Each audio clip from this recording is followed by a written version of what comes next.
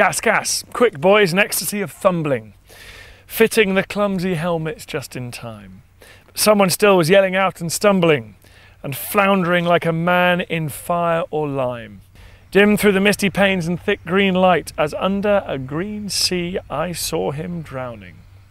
In all my dreams before my helpless sight, he plunges at me, guttering, choking, drowning.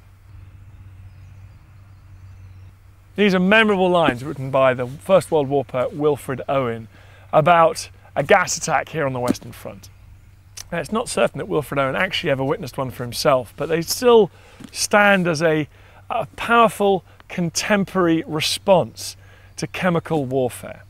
And despite the many revolutionary changes to warfare on land, sea, and air, there was something about chemical warfare, something about gas that inspired a particular terror and has continued to do so down through the ages.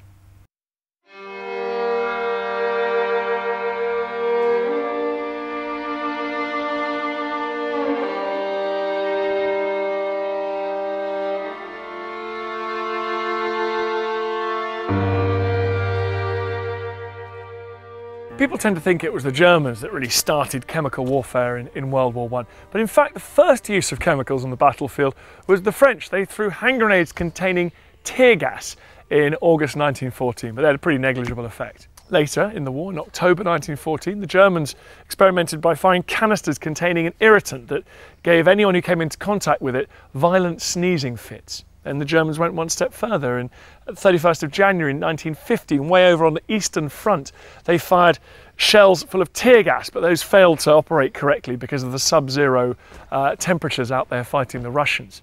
Then, in the late afternoon of the 22nd of April 1915, men from a specially trained German army unit released more than 160 tons of chlorine gas in the Ypres salient.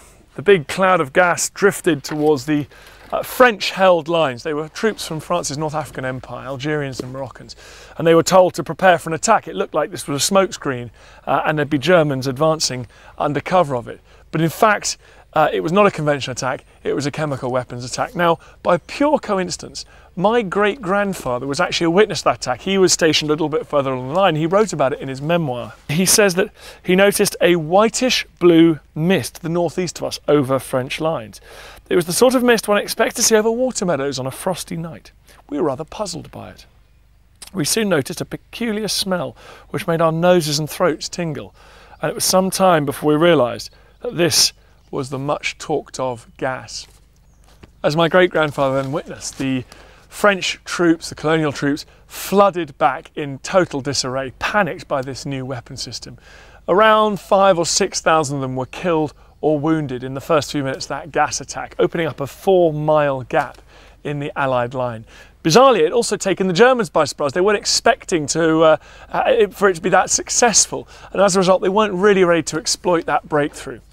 In the event, after a few days of forward and back fighting, both sides were approximately in the same positions where they'd begun before the gas attack. But that can't disguise the fact that the gas attack was the first successful use of chemical weapons in military history. And as far as that goes, it was a turning point.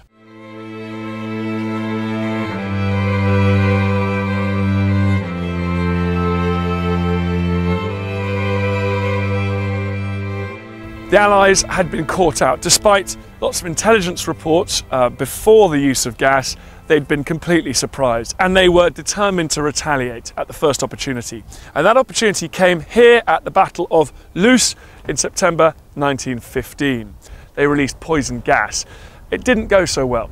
The wind changed and blew much of the gas back into the faces of the British troops that had released it. So they ended up poisoning more Brits than Germans that day.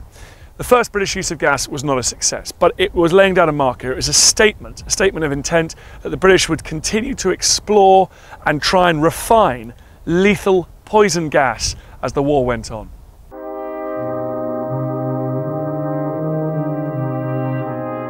Germany might have led the way when it came to chemical warfare, but as so often in World War I, one advance prompted countermeasures as the other side scrambled to catch up and innovated very effectively. Now, in early 1915, the Allies were uh, issued with rags, handkerchiefs, socks soaked in bicarbonate of soda, or even urine. They were told to pee on their own handkerchiefs because the ammonia in that urine would counteract the effect of chlorine. But quite rapidly, respirators were introduced and they improved dramatically during the course of the war. You can see I've come to this fantastic treasure trove of archaeological finds on the Western Front here, and there's quite a lot of evidence for uh, respirators here uh, and gas mask, which got really quite effective. And that meant that after May 1915, relatively few people actually died from gas attacks.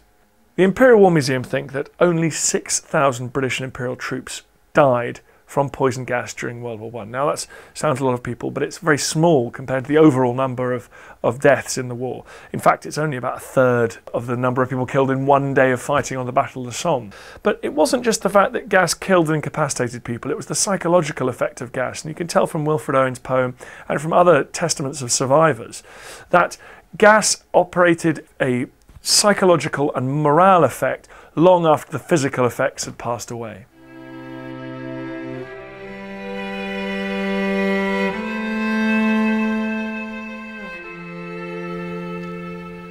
As the war went on, the use of poison gas became commonplace. By the war's end, the Germans had used nearly 70,000 tonnes of gas, and the British and French between them about 60,000 tonnes. The precedent had been firmly set, uh, and it's been something that has gone on right up to the present day. Most recently, the use of sarin gas in Syria. Of all the toxic legacies of the First World War, perhaps one of the worst has been the use of chemicals against our fellow men.